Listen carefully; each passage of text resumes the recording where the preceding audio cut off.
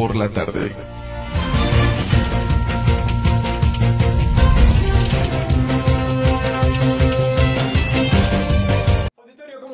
Tardes. Raimundo Cruz le agradece que esté eh, pues escuchando este espacio informativo. Muchas gracias a toda la República Mexicana. 17 horas con 4 minutos hora del centro de la República. Un saludo desde la capital del país, 49 ciudades enlazadas en este momento en este eh, programa, eh, la cadena raza todo lo largo y ancho del territorio nacional, Radio 620 aquí en la Ciudad de México. Mucha información para usted. Hoy es, hoy es martes 27, ¿verdad? Iba a decir viernes. ¿Por qué viernes? Hoy es martes, sí, martes 27 de marzo. Se nos está yendo el mes y ¿sabe quién está ahora sigue con un pie en el estribo, si me permite el término muy coloquial entre los mexicanos? Los candidatos, los candidatos a la presidencia de la República. Hoy Roy Campos, hoy las encuestas a todo lo que dan. Roy Campos vuelve a poner en los números. Enrique Peña Nieto está a la cabeza, Josefina Vázquez Mota en segundo lugar y, López Obrador en tercero, se lo decíamos. Josefina Vázquez Mota debe de tener algo así como 28, 31 puntos. Enrique Peña Nieto una ventaja de 16, 17 puntos más o menos. Josefina lleva una ventaja entre 7 y 8 puntos a López Obrador.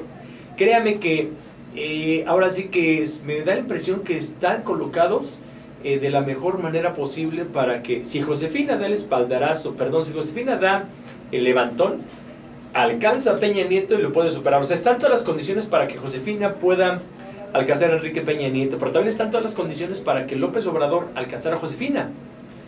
Lo que sí es importante es la ventaja que tiene Enrique Peña Nieto, 17 puntos. ¿Será suficiente? Es una ventaja bastante considerable. Es una ventaja definitiva, sería la pregunta. Esa si es una ventaja la que tiene Enrique Peña Nieto, le digo 17 puntos, vamos a cerrarle. A mí se me hace que es una ventaja importante, pero le alcanzarán a los dos que le siguen para, para el tiempo, los tres meses de campaña, para alcanzarlo y rebasarlo. Se va a empezar a escribir la historia.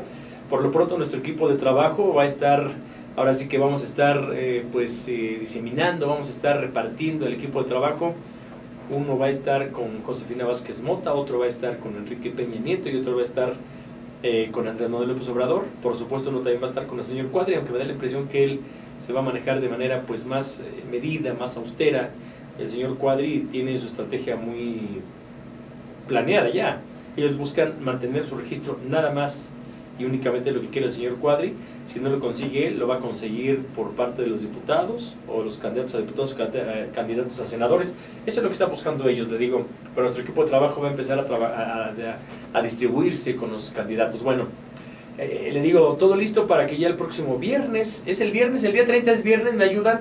¿El día 30 es viernes? Sí, el día 30 empiezan ya las campañas. Le digo, estamos martes, falta prácticamente tres días. Oiga, lo que me llama la atención es lo que acaba de determinarse, de decidirse en la Asamblea Legislativa. Y yo le pregunto a usted, a partir de ya, en el momento en que muera un capitalino, un, un, eh, habitante de la Ciudad de México, sus órganos van a ser donados de facto, de manera automática. Si yo muero, mis órganos inmediatamente irían a donación. Cualquier capitalino que muera a partir de ya, los órganos de cada uno de los que seamos de la Ciudad de México, que aquí vivamos, van a ser donados.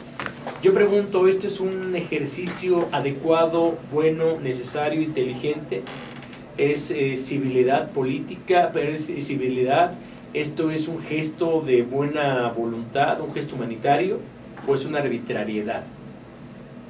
Digo, porque la asamblea ya decidió por usted y por mí. Si yo me muero de manera automática, mis órganos van, le digo en automático, a ser donados. Pero con la salvedad de que si un familiar mío dice, no, no quiero que los órganos de mi pariente sean donados, cero, no se donan. O si yo en vida hago un escrito y digo, no, yo no quiero que sean donados estos órganos. Mis órganos, entonces eso puede suceder. Pero repito, ¿e- ¿es algo adecuado? ¿No es una arbitrariedad lo que está haciendo la Asamblea Legislativa? Le digo, es un asunto de humanidad, es un asunto de, de ¿qué quiere? De, de buena voluntad, es un gesto de, de, eh, de, pues si ya no estoy en, este, en esta vida, los que siguen que puedan vivir y estar mejor. No lo sé, se lo dejo de tarea. Mañana vamos a hacer nuestro sondeo de opinión y va a ser sobre esto, fíjese, es un tema bastante interesante. Puede ser un gesto muy, muy humanitario, un gesto de muy buena voluntad, pero también puede ser, le digo, una arbitrariedad. ¿Por qué deciden otros por mí lo que va a pasar con mis órganos? Repito, usted tiene la facultad que en vida haga un escrito y diga, si yo bueno no quiero que se donen mis órganos, y la otra, si un familiar suyo determina que no se donen órganos de usted, pues adelante, ¿no? No hay mayor problema. Pero repito, me llama la atención lo que se vota, es un ejercicio bastante interesante. Ya estaremos escuchando opiniones más adelante. Never